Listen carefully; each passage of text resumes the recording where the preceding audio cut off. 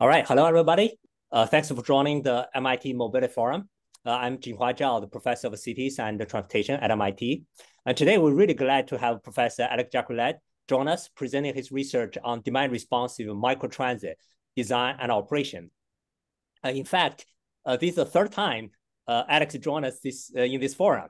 the first time he talked about urban area mobility. The second time he talked about ride sharing. And this time we invite him to talk about microtransit. Right?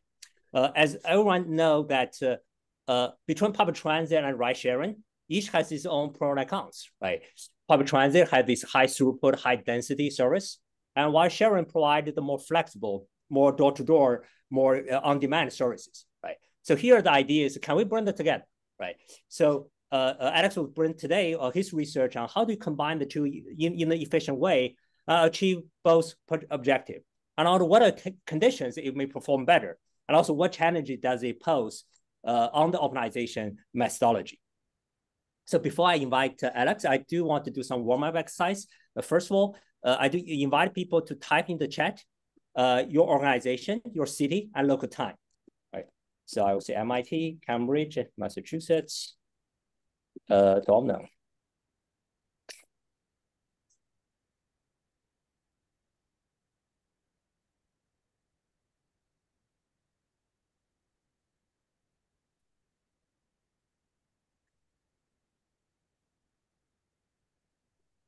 Mm.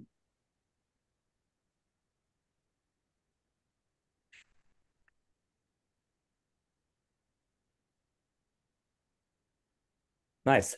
Thanks for everyone for typing in.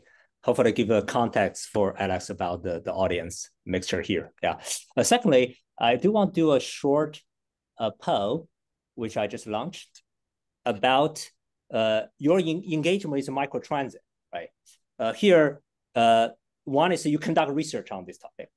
Secondly, you practice it either from the industry providing service or from the government setting up the regulation. Uh, the third one is you are a user of microtransit. And fourth one is just curious about it.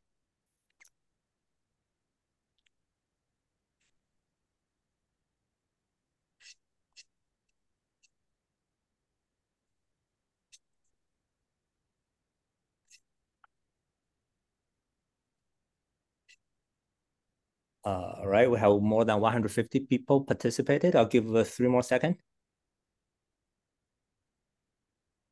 Okay, I will share the result. All right. Uh, Alex, can you see the result split here? Cool, yeah. So 27 on research, 22 practice, 13 uh, use, and 40 about cures. Thank you. Uh, great. Yeah. So uh, uh, given uh, Alex been here, this is the third time, I'll just give a very short introduction this time. So Alex Jacquillat is Associate Professor of Operation Research and Statistics at MIT Sloan School of Management. His yeah. research focuses on the data-driven decision-making spanning stochastic optimization, integer optimization, and machine learning. In particular, his research aims to develop scalable algorithms to support more efficient, equitable, and sustainable operations. And the domain interest includes uh, the air traffic management, on-demand microtransit, and collaborative uh, logistics. Without further ado, let me give the forum to Alex, please. Thank you um, so much, uh, Jinhua, for the introduction. Um, I'm going to assume that you can see my slides and hear me. If not, uh, yes. let me know. Good. Um, so yes, um, this topic is really about uh, starting a discussion about demand responsive microtransit, uh, what it can look like, what it should look like, and um, from also a research standpoint, how to optimize it. And here there are, I think, two questions. One is an operational question, which is a tactical question, kind of a um, at the at the in a, a real-time operating questions, and then there is a more strategic planning questions around the design of these networks. Um, and so in this uh, in this talk, I'm going to present some uh, two-stage stochastic optimization models and algorithms for achieving these goals. And um, so I'm going to be relatively brief on uh, the methodology, and then I will spend perhaps a little bit more time on the results to see a little bit how microtransit can contribute to the current mobility ecosystem um, between uh, transit and ride sharing. So just as a motivation, uh, Jinhua did uh, did a much better work than uh, a uh, much better job than I could do here.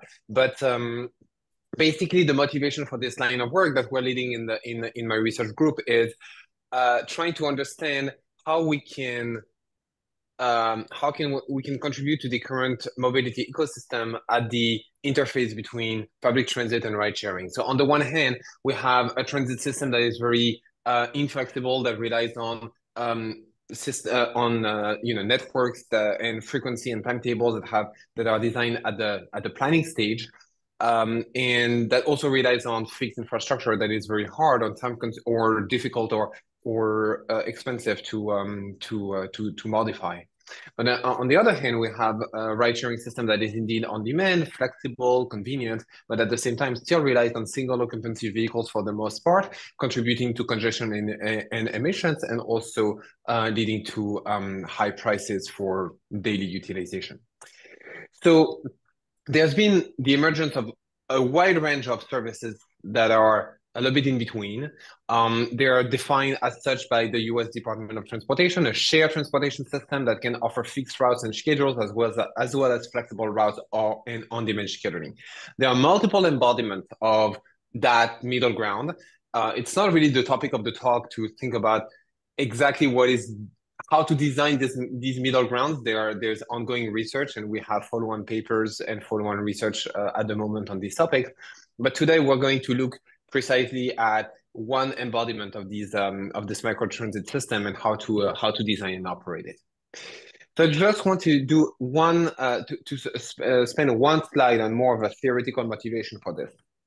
So most of you must be familiar with the traveling salesman problem. The traveling salesman problem asks for like a tour in a, num- a fixed number of n cities of minimal length. Okay, and there's a very famous theorem from the 1950s that says that um, as the number of customers grows to infinity, the length of the tour grows with the square root of n, the square root of the number of customers.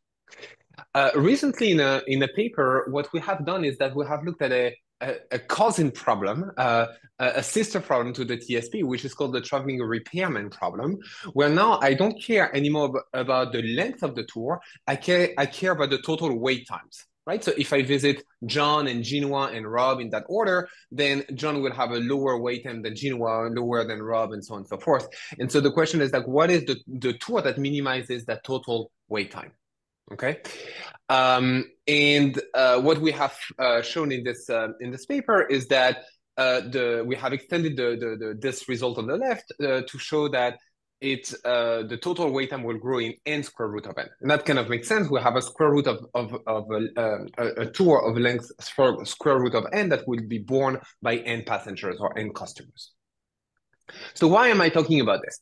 I'm talking about this because conceptually there is a huge difference between square root of n and n square root of n in that one function is concave and the other one is convex. So it's a very simple observation. But what this is telling me now is that um, when we when we move from a world of logistics where we have packages and we just need to deliver them to a world of transportation where we have passengers that actually care about wait times or times in, in the vehicle, then we observe this uh, negative externalities. In other words, if my microtransit system um, will need to like pick up end customers and I need to like wait for everyone to be picked up or everyone to be dropped off before I can go to my destination, then I'm going to suffer a loss of uh, service level as a result right? So that's kind of the um, that's kind of the the motivation the theoretical motivation for how we're conceptualizing microtransit today. So then the what this is telling me in a sense is that the easy answer to how to to this original question here which is let's take high capacity vehicles and just operate them on demand doesn't necessarily work as well because of all of these negative externalities these detours and these delays so the question is, what can we do? So there is a first answer that we've seen a lot of in, in practice, which is small occupancy ride pooling. So here, basically, we're going to say, I'm not going to serve 100 passengers at once. I'm going to serve three, four passengers at once in order to basically reduce N in my previous slide. So there has been mixed success in practice of this uh, type of um, of this type of uh, of um, of um, services. Then there is another one, um, another possibility is to just operate in a small region. And actually, there is a lot of success of microtransit, of on-demand high capacity vehicle operating in small regions. These are two examples uh, from, um, from Massachusetts in uh, Newton and Salem. But then what do we do in larger cities? So in larger cities, one of the prominent uh, models for microtransit is what, what I call zone-based regularization, where I'm going to say, I'm not going to operate in the entire city. I'm going to operate in a smaller area. I'm not going to operate in um, um, in Los Angeles. I'm going to operate in downtown LA. And uh, Los Angeles, Miami are uh, cities that actually operate under this model. Um, and actually, the most prominent mode of uh, microtransit here is uh, zone-based regularization as a feeder into existing transit system for first mile and last mile. Um, but again, here we still have the same trade-off, meaning that if my zones are too small, then I'm going to end up having small occupancy vehicles with contribution to emissions and congestion and high prices again. If my zones are too large, I'm going to have too many customers and will grow up, and then I'm going to have deteriorated level of service as a result. Right? So uh, it's uh, it's one step toward uh, toward the solution, but it's also a motivation for us to look at something else that we call line-based regularization. So the idea here is very simple. Is to say we already have a transit system that operates lines, right? We, if you go into the MTA, the MBTA website, you're going to have a set of bus lines that will all have a set of stops that will have um, scheduled times um, at each stop. And then, so the question is, can we take these lines and then have a system of on-demand routing that enables us to deviate from these lines on demand based on the real-time requests from the passengers. Right? So that's kind of the, uh, the, the, the system that we're considering here. Again, I'm not saying that this is like the model that that that that we all should follow in all municipalities, but what we're interested in here is is there i mean how can we optimize the system? Can we design that system? Can we develop scalable methodologies that enable us to support these types of operations? And also if we're successful at that how can we evaluate it in the current mobility systems between ride sharing and transit? So i'm going to uh, answer these questions with a real world data driven um, uh, experimental setup where we're going to consider an airport shuttle system uh, in Manhattan um, with real real world demand, of course, from the New York taxi data that we are all familiar with, um, as well as um, as data from Google Maps, Uber, and uh, OpenStreetMaps. So okay, so the the I'm going to outline this uh, this paper from now on. We are developing this model that we call the microtransit network design model. Um, I, it's formulated as a two-stage stochastic integer optimization uh, model with a tight uh, second stage. I'm going to briefly uh, talk about that. We have a double decomposition um, um, algorithm that combines Benders decomposition and column generation. So for those of you who are interested, it's kind of a row and column generation algorithm um, which uh, will scale to large scale instances with 100 lines, hundreds of uh, stations in Manhattan, uh, thousands of uh, passenger requests. Um, and then what I want to uh, spend a few minutes on is to show how this system can actually contribute toward win-win-win outcomes in mobility, uh, equity, um, efficiency, and um, environmental sustainability. Okay, so here's the problem. The problem is that I want to design in the first stage a set of lines. Each of them has a series of checkpoints with corresponding types. And then in real time, I'm gonna have requests from passengers. People will actually like think about Uber, an Uber app or something will say, hey, I want to take bus uh, 37 um, at uh, 8.05 and I live in I, I live in this place and I'm planning to go to that station. And then once I get all of this information, all of these requests, what can I do? And in a sense, I can, on the left here, just follow the reference line akin to regular public transit, or I can actually have more significant deviations in order to provide a better level of service to all of these passengers. And these passengers will receive a confirmation saying, okay, actually we're not, don't, don't go to the, don't go to the line. We're going to come and pick you up at home. It's going to be better for you. Right? Okay, so uh, I'm going to spend a few minutes on the technical aspects of this paper. Um, this is a, actually a very difficult problem because the second stage is the vehicle routing problem. And vehicle routing problem is a very discrete, challenging discrete optimization problem Um, so now I have an integer optimization problem in the first stage and in the second stage, which is very hard to handle from a stochastic programming standpoint.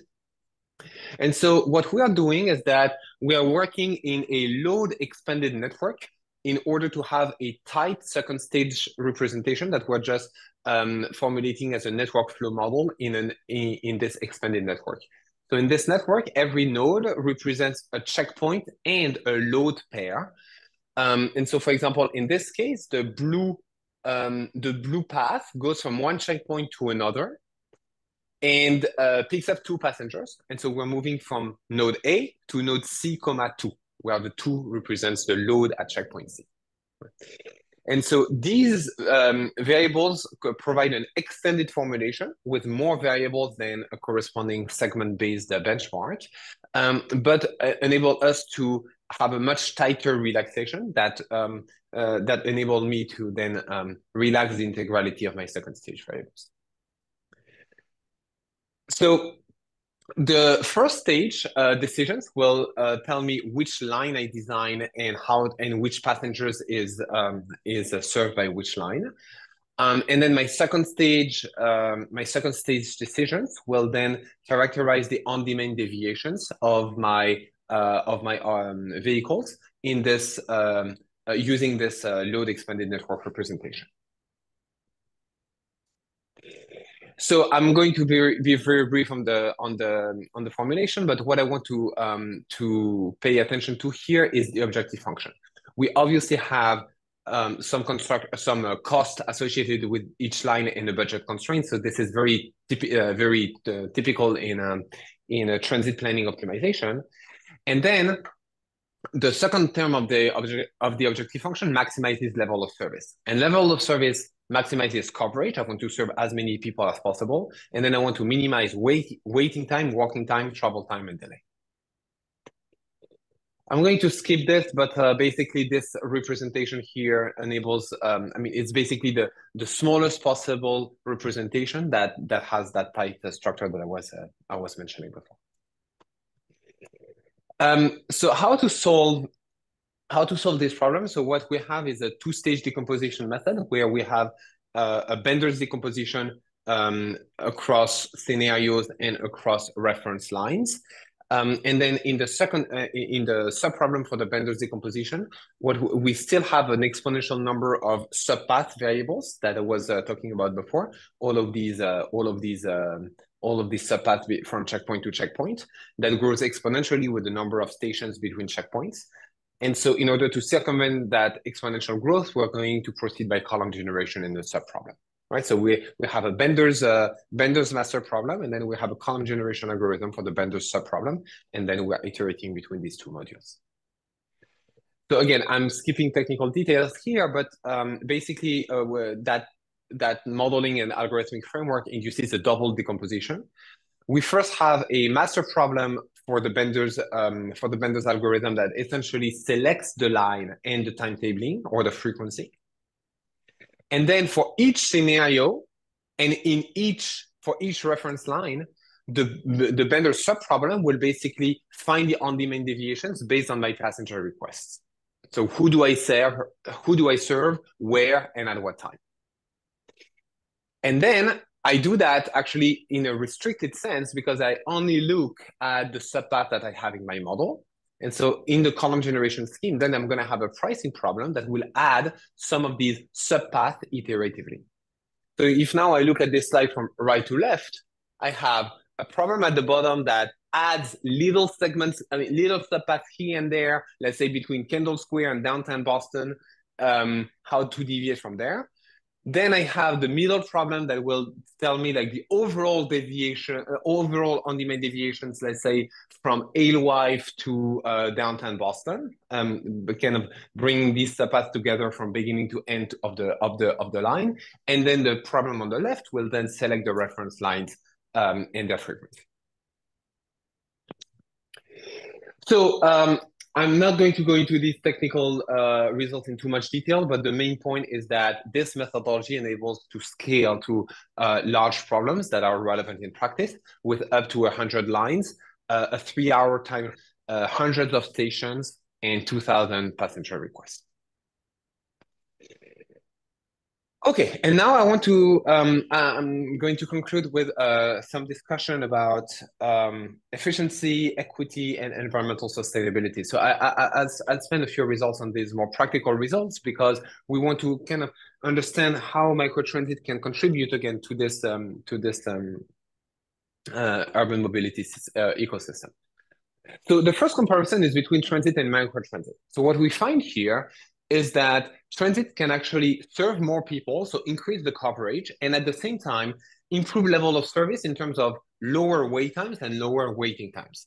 So in other words, by deviating from um, from the uh, from the reference line, our microtransit vehicles can provide can serve the passengers better, and at the same time pick up more passengers right?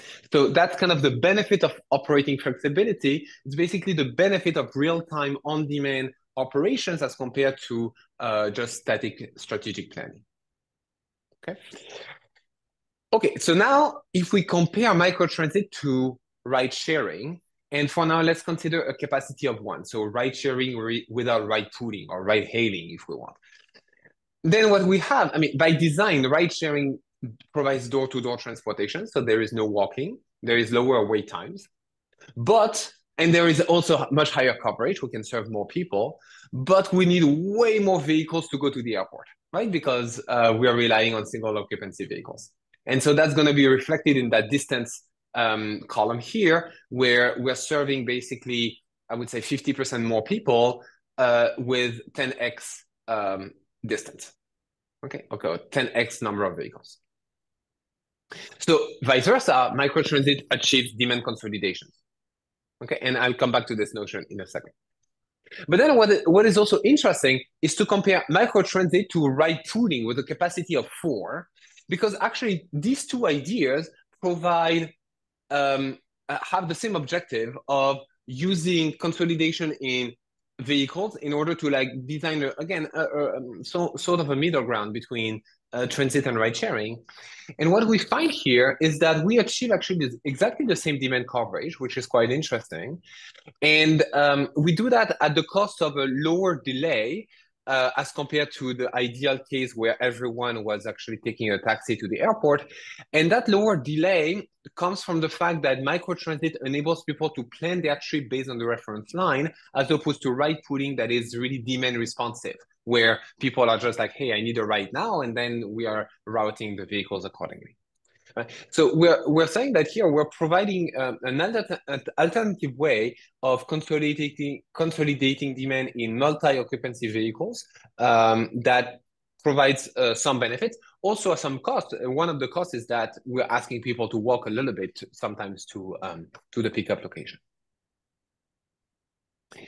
Okay, so now I want to compare uh, the networks that we have under transit in the left on the left side and microtransit on the right hand side.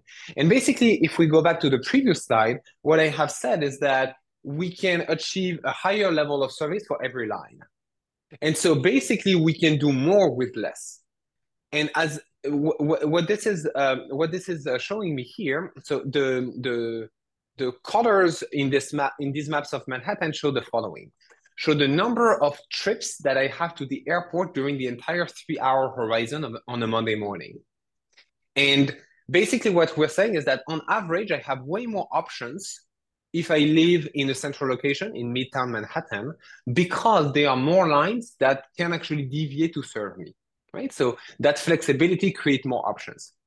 But what I find more interesting in this plot in this plot is that I can actually provide a higher coverage with fewer lines. So then I can use more of my budget to serve other areas. And there are 60% more locations, intersections, that are actually served under, under the microtransit network than under the transit network, which obviously comes with significant implications in terms of equity and accessibility because we're able to increase the reach of the system to underserved regions. And finally, I left you before with a little bit of a, a. Um, I was saying that as compared to ride sharing, we were serving uh, fewer people with way fewer vehicles. Okay, great, but what happens to the other people? And what happens to the system as a whole? And what about transit in, the, in this mix? So here we're doing something very simple. We're trying to understand the system-wide implications of these systems. And basically, I'm, I'm, I'm, I'm counting all the people that I'm serving as passengers in my system, and assuming that all the people that I'm not serving, I'm going to assume that they take a taxi to the airport or they take a ride share or whatnot. So basically, that's the, that's the difference between the orange distance here in this plot, which is the internal distance, and the green distance, which is the external distance, so all the people that are not served by my system. And so basically what we're saying here is that the distance of the microtransit uh, system is actually the smallest across all the modes. Why? If we compare to transit, we have higher coverage. So we are doing small deviation, we're increasing distance by a teeny bit, but we're serving way more people, we're decreasing the distance per passenger, and therefore fewer people have to rely on their own mode of transportation to go to the airport. And so as a result, we're decreasing the distance traveled by 10%. So, and this is really driven by the higher um, higher de demand coverage and higher demand, uh, vehicle load. And vice versa, if we compare that to all of the ride sharing and ride pooling options, what we end up having here is that since we're consolidating people into high capacity vehicles, we're relying on fewer single or low occupancy vehicles to go to the airport. And this comes with significant benefits in terms of um, total distance traveled. Um, so these two things combined show that there is scope for leveraging, again, the predictability and reliability associated with transit, as well as the uh, flexibility of on-demand operations in order to consolidate demand and um, mitigate the environmental footprint of um, um, of uh, the urban, urban mobility ecosystem.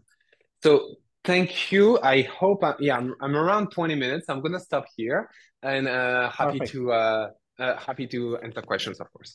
Uh, th thank you so much, Alex. You're perfect on, on time here. Yeah. Uh, first of all, I remind the audience in this forum, we encourage everyone uh, to contribute one idea, right? Uh, ask either one question or make one comment. Uh, please do do so in the in the chat, right? I have several questions to start, and also we have Nigel and Tom to to give some remarks there. let's see, Nigel, do you want do you want to start?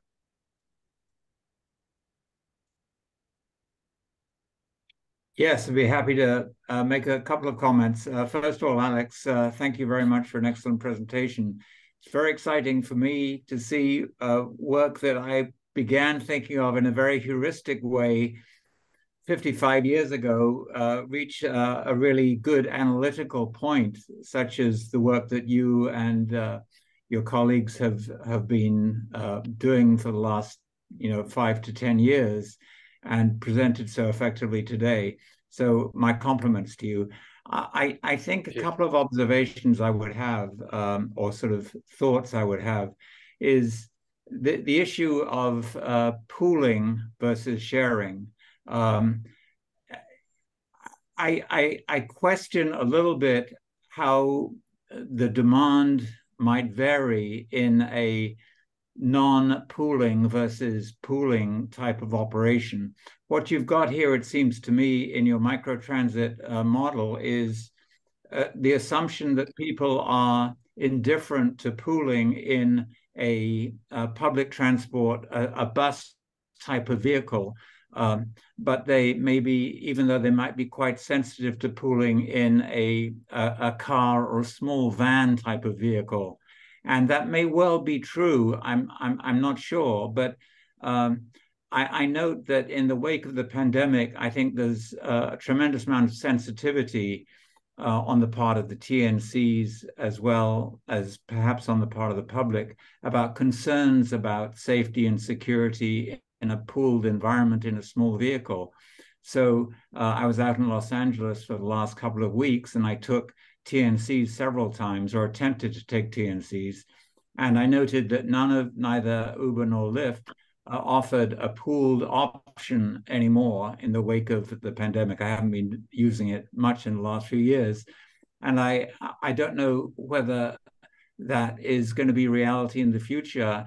Um, and to what extent that aversion or perceived aversion that people may have to pooling uh, pooling their their trip with with others who are unknown to them may have what effect it may have on demand and what effect it may have on um, the microtransit, which effectively, from my point of view, potentially integrates the demand responsive aspects with the uh, traditional public transport aspects. So that's sort of a thought I have, or I'm, I'm curious about how you react to that. But anyway, my, my compliments for a very uh, effective presentation on very interesting work. Thank you so much, uh, Nigel. Very much appreciated uh, the thoughts. I got asked in the chat in uh, at the same time to uh, pull back the results side, so here it is. But uh, but uh, I'm just going to uh, reply uh, in general. I think that your point on basically the the, the negative cost um, of pooling and uh, the impact on passenger behaviors and passenger demand is uh, is absolutely right.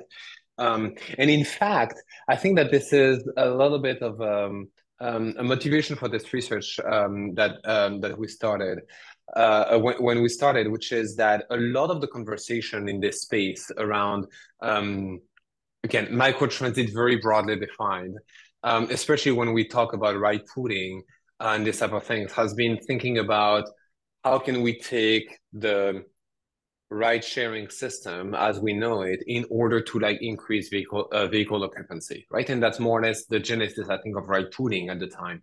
And as exactly you noted there has been um, mixed success. Um, indeed uh, the major players do not offer it nearly as much as they used to um, because of the of the of the adverse um, adverse behaviors that they they have uh, encountered and that has been also uh, decoupled, I think, uh, in the time of the pandemic.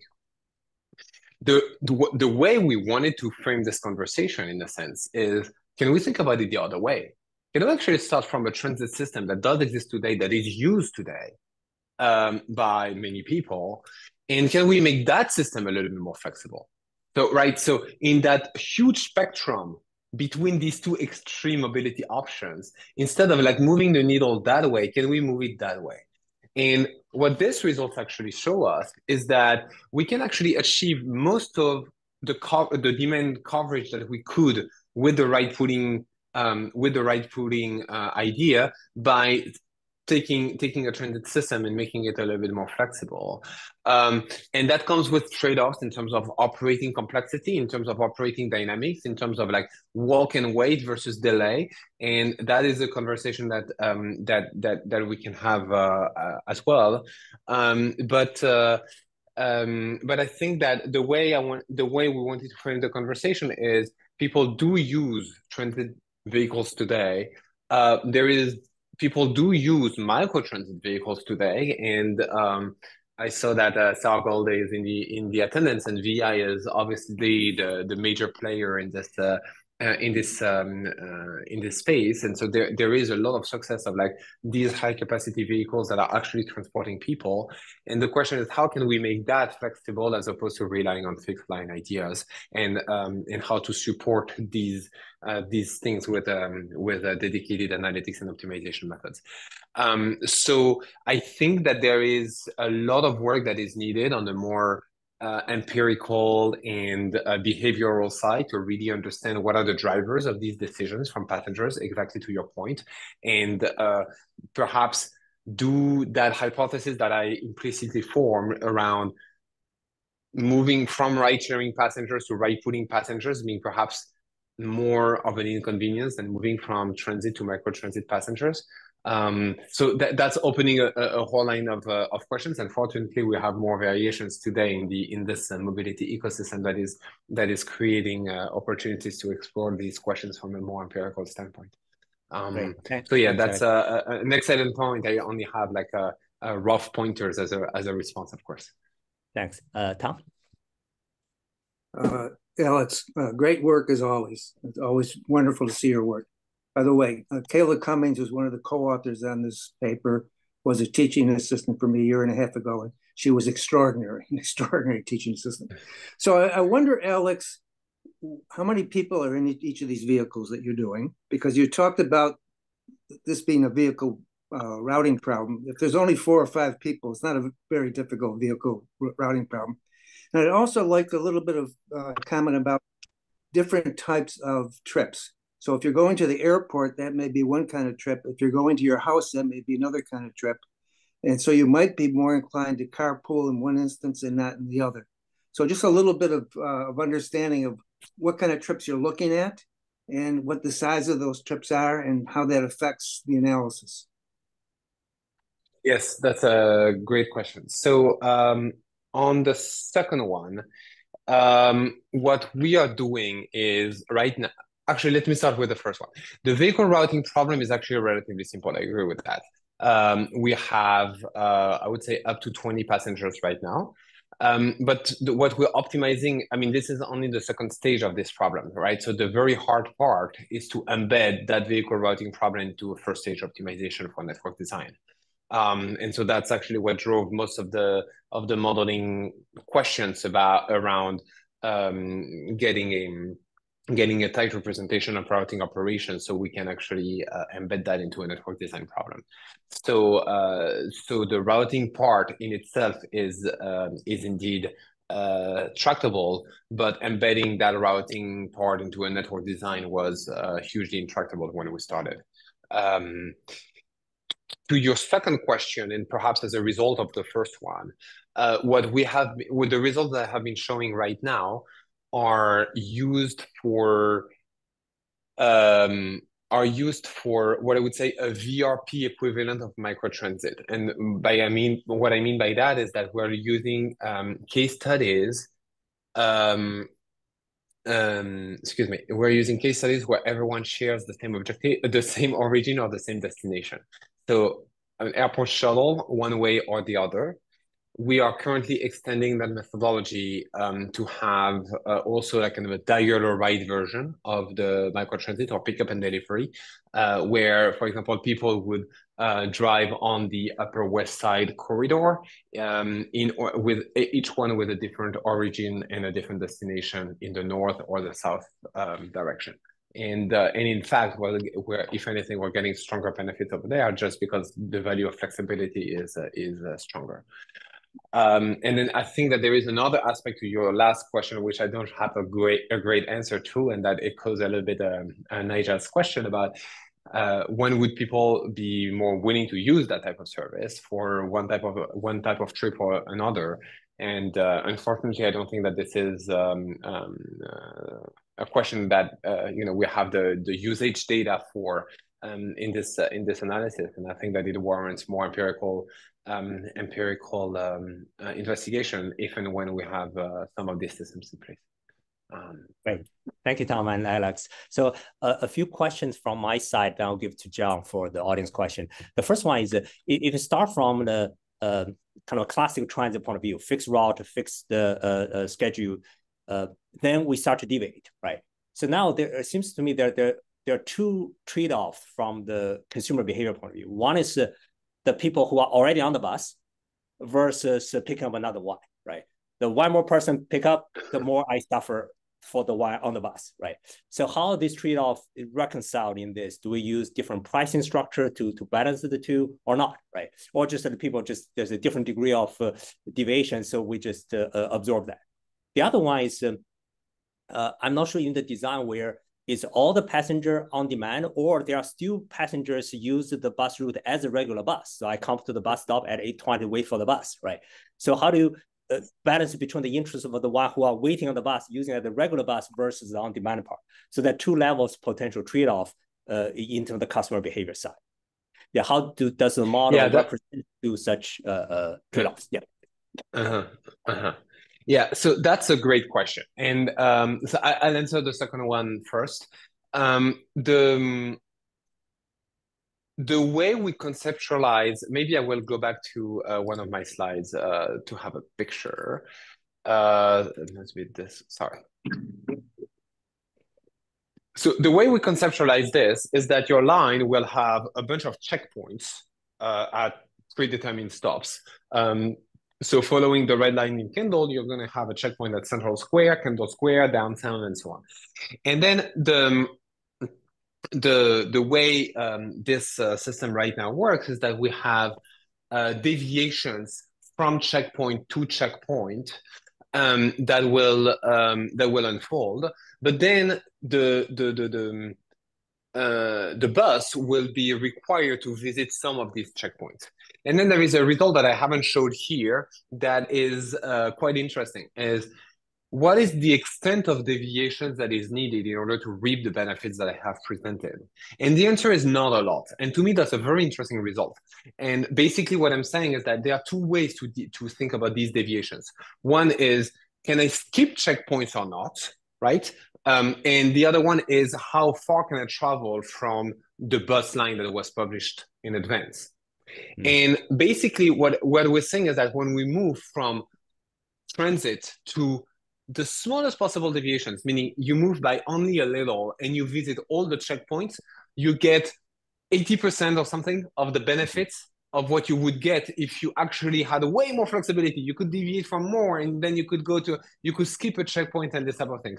And from a practical standpoint, this has a huge implication, exactly to your point, which is that if honestly I had to implement this thing, I would require you to visit all the checkpoints because some people are not as tech savvy, will not have the smartphone, will not have the app, will show up at the um, will show up at the uh, at the transit stop and will expect a bus to show up. Um, and and even if we constrain the system to operate that way, we're getting most of the benefits that I have presented.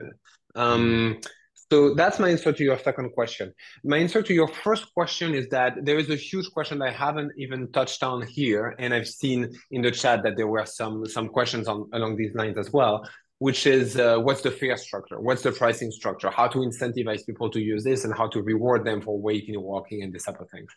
So there are so here um this is a question that we had investigated in my previous uh, presentation to this forum that was um, dealing with uh, kind of vehicle uh, walking products in ride sharing when when we had vehicle customer coordination, and um, and here we had uh, we had showed um, that there were multiple mechanisms that can be used to share the benefits or the savings between the firm and um, uh, and the passengers.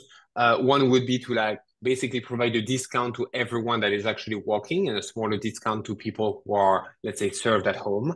Um, the other one would be to lower the fares altogether in a uniform manner. Um, so the question is how to how to price these uh, these systems. The idea, and I think that um, what uh, what these res- the reason why I find some of these results exciting is that we're able to again, if we start from a transit standpoint, we're able now to serve more people at a marginally higher cost by drastically reducing the distance per passenger, which means drastically reducing the cost per passenger.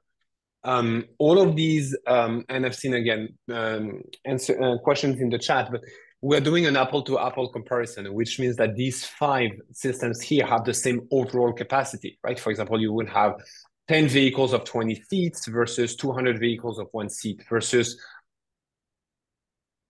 50 vehicles of four seats. Math is hard. Um, but um, uh, but what this is saying here is that these benefits that I'm, say, that I'm seeing in terms of reduction of distance per passengers are really um, cost reduction. And these cost reductions enable, create opportunities to provide either a transit system that has a broader, a larger capacity than today, or to create a transit system at a lower price point than today. Mm.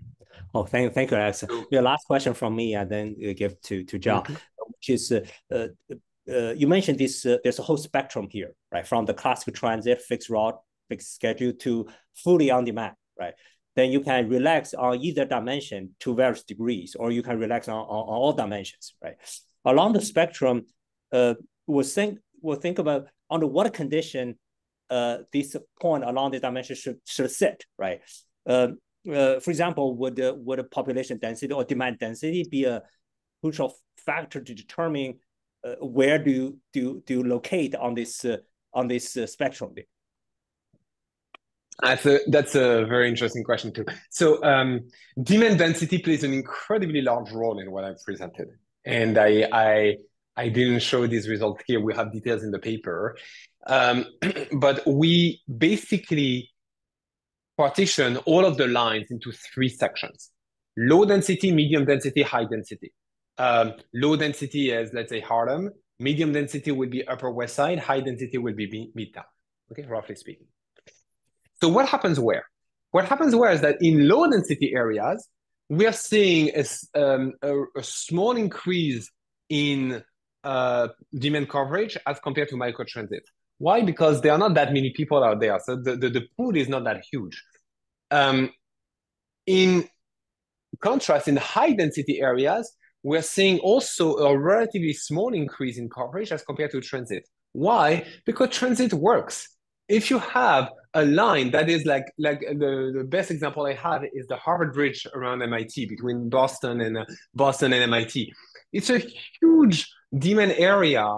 Everyone goes from Boston to MIT, from MIT to Boston. And why would you deviate? Well, it's a bridge, so it's difficult to deviate on a bridge. But um, the, the point is that when you have a high density corridor, transit works. And so the benefit of this flexibility is bigger right?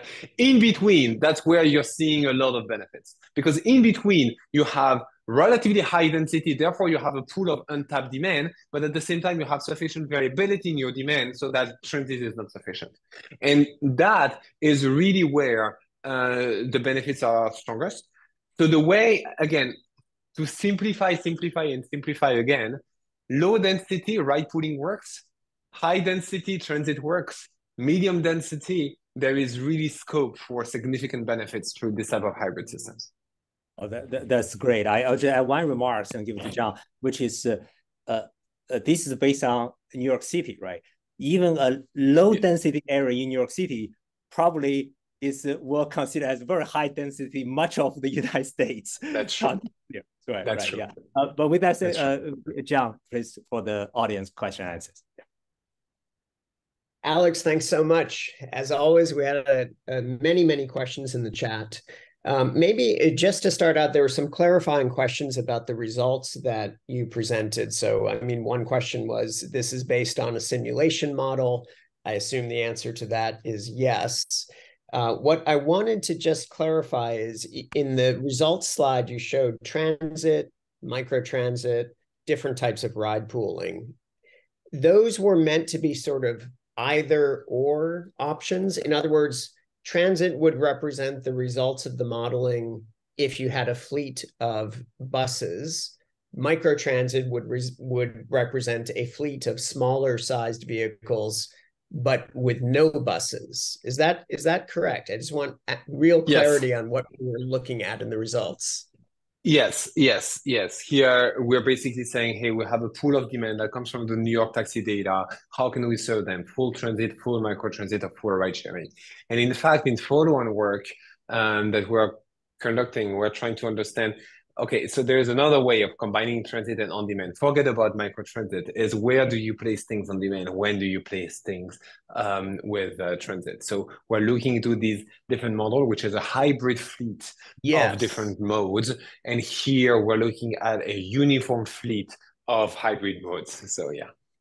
Okay, so I think that's really the core. Is you know yeah. what is this great opportunity of a hybrid system that you just alluded mm-hmm. to. You know, it makes a lot of sense that in the high density corridors, public transportation, whether it's metro or a dedicated bus line, works very, very well. How can yeah. we build these types of feeder systems? And you know i i really that that to me seems like the the epic opportunity. And and those feeder systems could be built by a company like Via. You know they could be a sort of a privately provided entity or they could be publicly provided.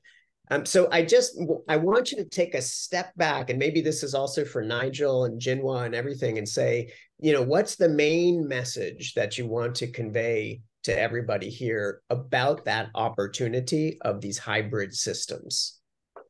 Yeah, I think that's a great question. So here is, I mean, I'm going to go back to my answer to Jinhua, which is that the uh, so the talk shows that there are benefits of flexibility in the systems.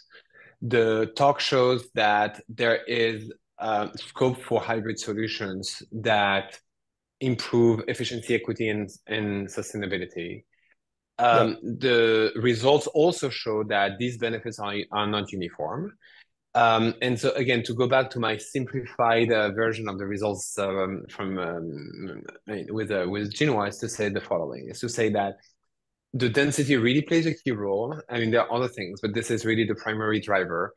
The instances where you have uh, low density, I think that um, right uh, ride pooling works relatively well, or ride sharing works relatively well.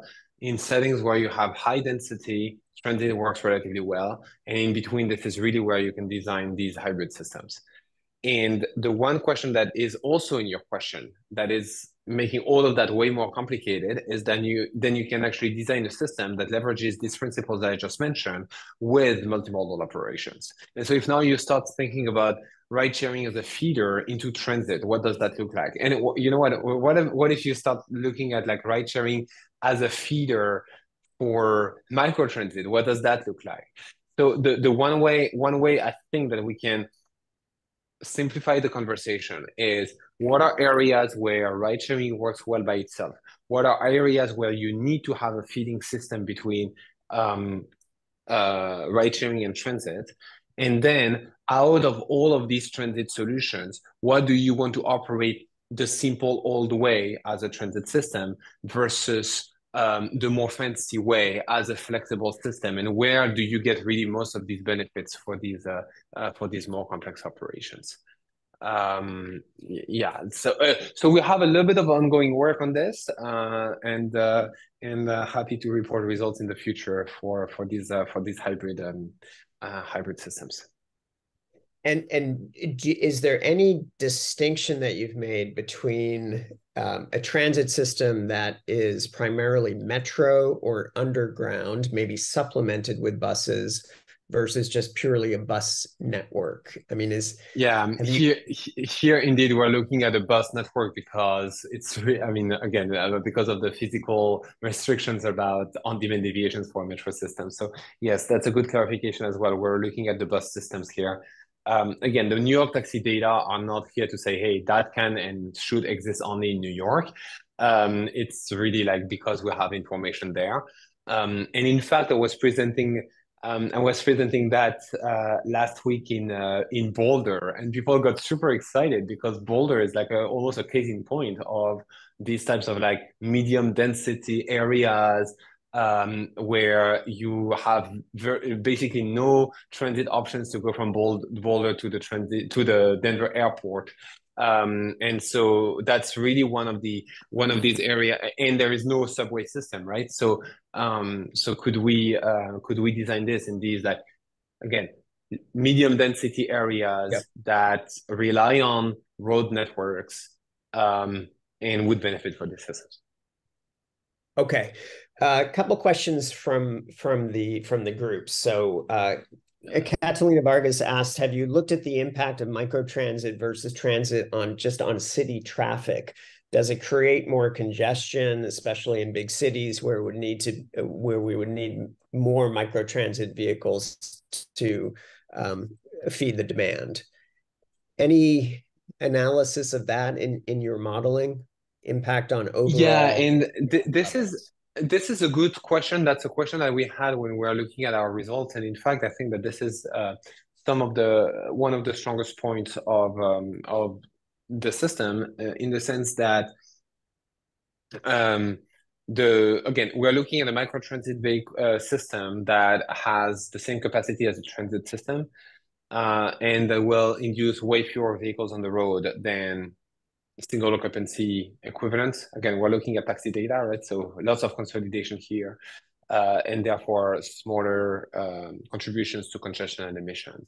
Um, we're not increasing the fleet size as compared to transit. No, no, there is another question that also goes back to Nigel's point about, about okay, will people be willing to do that? And there is a variant that is, oh, maybe people would be will be um, adversely reacting to to some of uh, the pooling aspect or the deviations aspect and whatnot.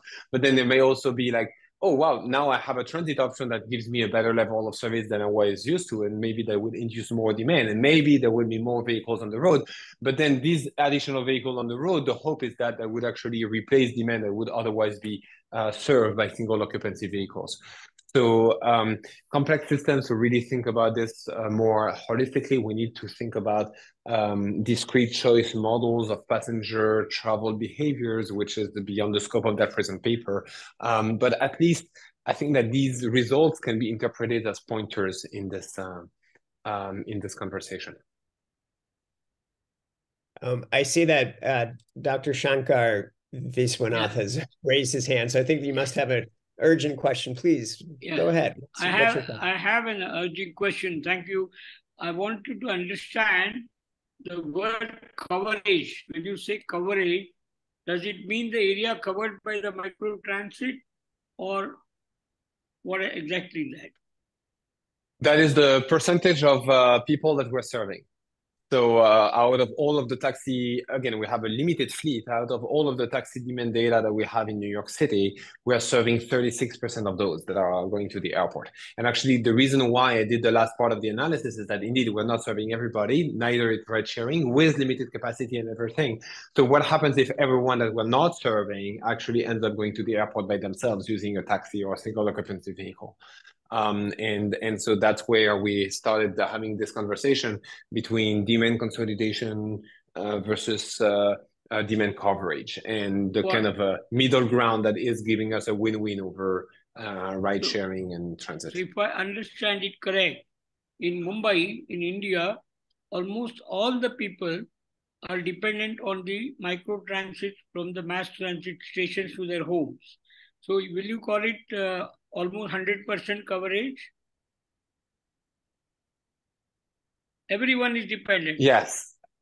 I it's yes i don't i'm sorry i don't know how to answer that question because uh i mean i i mean i don't know what because i mean we need to no think one, about like what's no the, what's one, the underlying pool of demand where, whether there is latent demand and, and this type of things i don't know that i'm sorry because nobody uses a car to the railway station they use the car all the way uh-huh.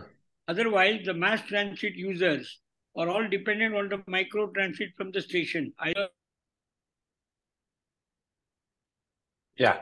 Um, no, I mean this is a good point. We can look into that uh, for sure. Uh, I, I, I have a lot of uh, research experience in India on the logistics side, but not on this side. So, uh, uh, yes. so that that would be that would be an interesting follow up. Thank, you for the for the question, Doctor. I, I, just want to get one very quickly one more question in. I know we're at time. Uh, the, the question is about the impact on the transit bus route deviations on the reliability of passenger wait and in-vehicle travel times. So this goes into thinking about um, the number of left turns at intersections uh, and so forth.